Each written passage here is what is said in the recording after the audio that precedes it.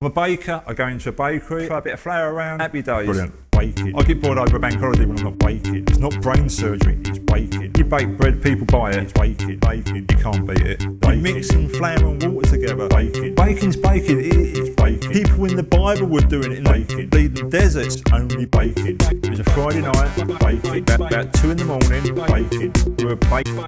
Baking. Baking away. Baking. Bakers doing baking. Middle of the night. It was baking. Fun place to be.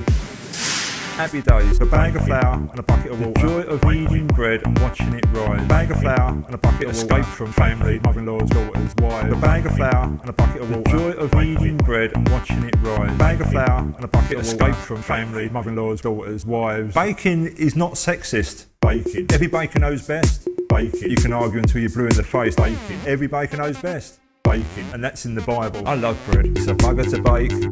Because if you burn it, you're buggered. Brilliant. It's a bugger to bake. Because if you burn it, you're buggered. And that's in the Bible. It's a bugger to bake. Bigger about. Because if you burn it, you're buggered. And that's in the Bible. A loaf of bread in the Bible, I bet was just as tasty as the loaf of bread that I'm making today. It's a bread called spelt. baking. Seeds are in big, big, big, Baking. big fashion at the moment. Uh, sunflower seeds, Baking. pumpkin seeds, Baking. Linseeds, Baking. any types of seeds. Baking. Seeds are really good for bread. Brilliant. Wow, that was amazing. Um, give me another slice.